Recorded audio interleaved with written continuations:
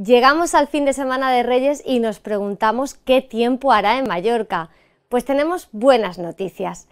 Para este viernes, la Agencia Estatal de Meteorología anuncia intervalos nubosos y temperaturas máximas que oscilarán entre los 14 y 15 grados. Las mínimas serán de entre 0 y 1 grados en el interior y de entre 7 y 8 grados en las zonas costeras.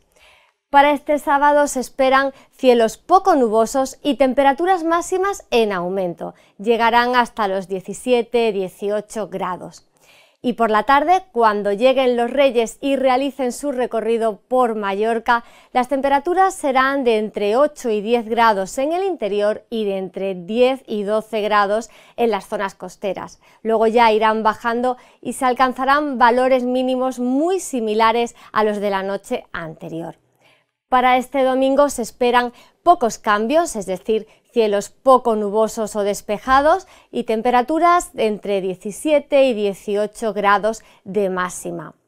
En el mar también habrá buena situación, se prevé marejadilla, salvo en el norte de la isla, donde habrá marejada con olas de un metro de altura aproximadamente.